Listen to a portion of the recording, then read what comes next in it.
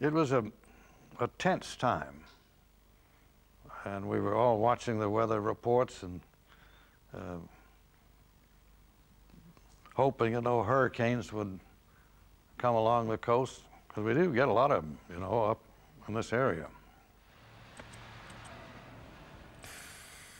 At the same time, the engineers were hunting down the manpower and materials to strengthen the wind bracing at each of the 200 suspect connections. Lemessurier designed H-shaped steel reinforcement plates which would have to be welded in place while the building was unoccupied at night.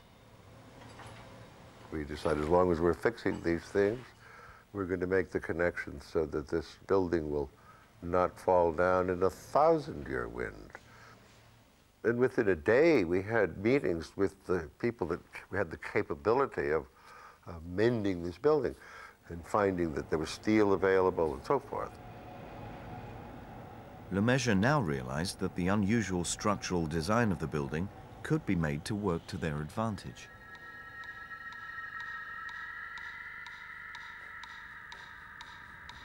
The wonderful thing, you see, when we were designing the building with uh, Hugh Stubbins, having a big ego myself, I loved my diagrams for these uh, diagonal members. I would be very pleased to have them show on the surface of the building.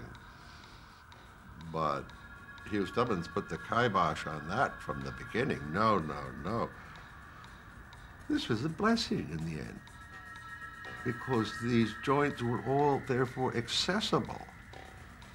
And the actual mobilization to get at them and fix them was relatively straightforward.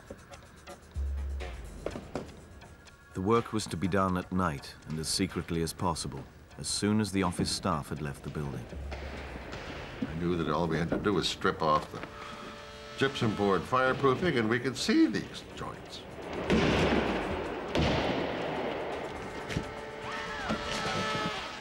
The actual fix in most cases was very simple. It was a matter of getting some very thick steel plate, a very high strength, two inches thick, putting pieces on both sides of the steel diagonals uh, across the joint which was held together with the bolts.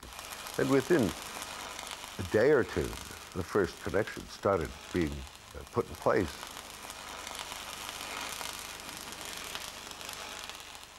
We had between 21 and 23 welders working at a time, and on weekends we would have a few more.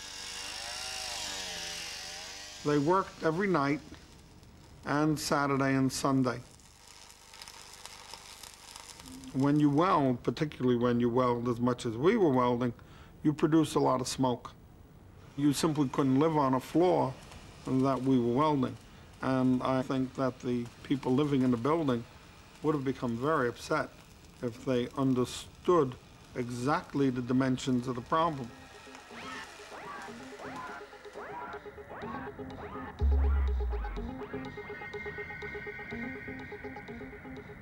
We had flown into New York, my wife and I, in a plane that had made available to us. It was a private plane. And uh, the pilot had to skirt some thunderstorms and ended up coming in close to Manhattan, and there was the building, sparkling.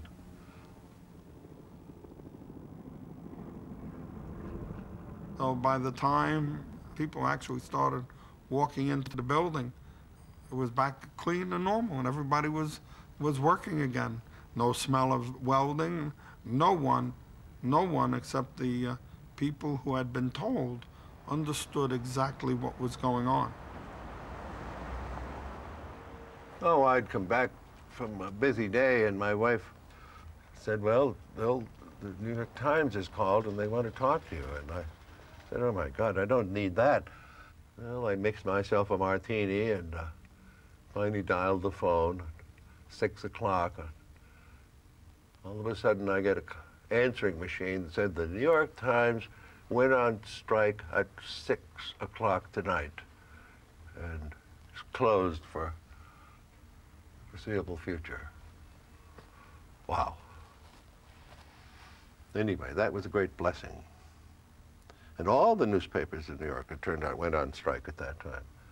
And stayed that way until October.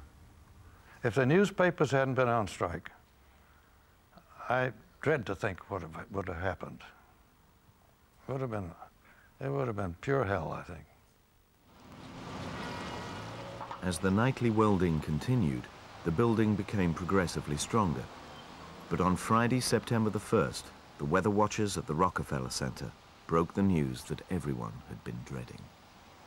We had three different weather services giving us information every day on the approach of any kind of wind over 40 miles an hour. So we got the information that there was a storm coming up the Atlantic. And it was on a track, that had the potential of coming straight up to New York. Okay, we figure that uh, the beginning of the uh, hurricane conditions will start there anytime uh, after dark uh, this evening. And, uh, Friday morning, we had an enormous meeting because there was everybody was concerned. Uh, do we evacuate the neighborhoods? But uh, at the time we got into our meeting and uh, talked for an hour or two, by we got more word from the weather service. The storm has shifted path and is going out to sea.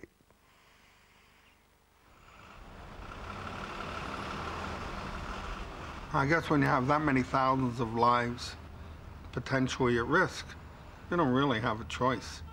Um, you have to uh, own up to it and, and do it. The unions cooperated, the uh, city cooperated. I always felt that Bill was heroic. It was just a pleasure to do. Sometimes, I guess, uh, emergencies make people behave better. And everybody uh, did a wonderful job. There were, there were no bad guys. Everybody was wearing a white hat. My memory says that we did the whole job from the very start to the very end in eight weeks. And that we managed, and I know this is disputed, uh, eight to ten million dollars in that time. Now, takes a lot of work from a standing start, no, uh, no preparation, to spend ten million dollars, 1978 dollars in eight weeks. I don't think there was any blame. Not that I remember. There was no recriminations. There was um, some negotiations about who's to who would pay for the damages, and I think LeMessurier's insurance company paid a bit of money, and I don't know how much it was. We as architects didn't have to pay anything, and I always thought that Citicorp behaved in a very uh, professional and wonderful way about that. They didn't sue anybody. It was all handled in- by negotiation. there's been a, a whole evolution of standards and understanding of the wind that's gone on over the last 40 years. And, and one wonders, one wonders. I don't mean to speculate, I'm not going to pick any examples, but there might well be buildings that were built from the old days that have never yet been subjected to the wind that would knock them down. And they might go.